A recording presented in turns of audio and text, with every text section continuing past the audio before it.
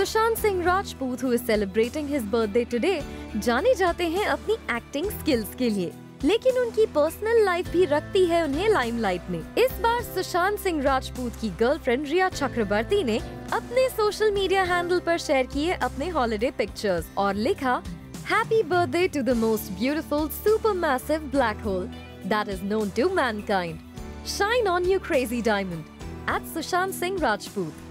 Sushant Singh Rajput के लिए girlfriend रिया चक्रवर्ती के घर पर रहना एक बड़ी प्रॉब्लम की वजह बन गया है। सुशांत को ही नहीं, अब गर्लफ्रेंड रिया को भी छोड़ना होगा अपना अपार्टमेंट दरअसल सुशांत सिंह राजपूत लगभग दो महीने पहले ही अपनी गर्लफ्रेंड रिया चक्रवर्ती के बैंड्रा अपार्टमेंट में शिफ्ट हुए थे।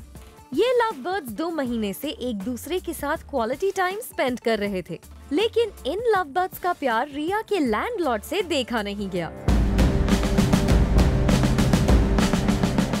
क्योंकि अकॉर्डिंग टू हिम रिया ने जो रेंट का कॉन्ट्रैक्ट बनाया था, उसमें उन्होंने मेंशन किया था कि वो अकेले इस अपार्टमेंट में रहने वाली हैं। लेकिन दो महीने पहले जब सुशांत परमानेंटली शिफ्ट हो गए, रिया के अपार्टमेंट में तो तब लैंडलॉर्ड ने रिया और सुशांत को घर छोड़ने के लिए कह दिया।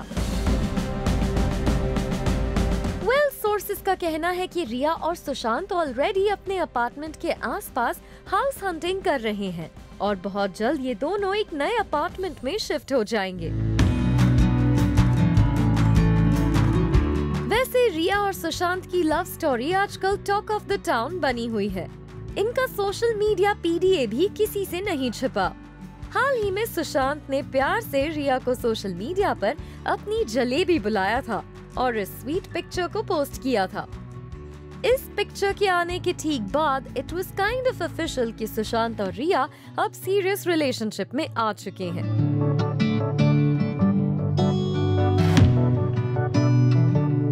वैसे रिया के बर्थडे पर भी जिस तरह सुशांत ने उन्हें एक प्लैटिनम पेंडेंट देकर अपने प्यार का इजहार किया दैट वाज रियली स्वीट वैसे सुशांत सिंह राजपूत रिलेशनशिप के मामले में रहे हैं काफ़ी नोन इन बॉलीवुड रिया चक्रवर्ती के साथ अपने रिलेशनशिप को ऑफिशियल करने से ठीक पहले it was reported that Sushant Singh Rajput Kriti Sanon को डेट कर रहे थे और फ़िल्म राबता के सेट से इनका रोमांस परवान चढ़ा था।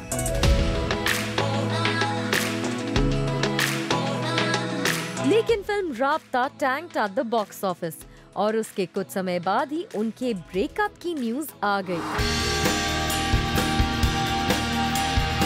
वैसे इस रिलेशनशिप को लेकर भी कहा गया था कि Sushant was quite serious about it साथ ही फ़िल्म केदारनाथ की शूटिंग के दौरान सारा अली खान और सुशांत सिंह राजपूत के लिंक अप की न्यूज़ सामने आई थी। न्यूज़ रिपोर्ट्स में ये भी कहा गया था कि सारा की mom Amrita Singh was not that happy about their relationship और शायद यही वजह रही कि ये रिश्ता कुछ ज़्यादा समय तक नहीं चला। वैसे सुशांत सिंह राजपूत की लाइफ में जो रिलेशनशिप सबसे लंबे समय तक चला, वो था his relationship with his girlfriend Ankita Lokhande. Television में अपने करियर की शुरुआत से ही सुशांत अंकिता को डेट कर रहे थे। सुशांत अंकिता को टेलीविज़न इंडस्ट्री का पावर कपल कहा जाता था और इनका रिलेशनशिप चला काफ़ी लंबा। लेकिन जैसे ही सुशांत ने बॉलीवुड फिल्म्स की तरफ़ अपना रुख किया, वो अंकिता से दूर चले गए और उनका ब्रेकअप हो गया। सुशांत और अंकिता के ब्रेकअप की न्यूज़ जब सामने आई थी तो हर कोई हैरान रह गया था। But now it seems Sushant Singh Rajput को रिया चक्रवर्ती में अपना लाइफ पार्टनर वाला प्यार मिल गया है। एंड इट सीम्स इस रिश्ते को वो लेकर जाएँगे to the final destination Watch E-Town News Monday to Friday at 9.30 p.m. only on Zoom.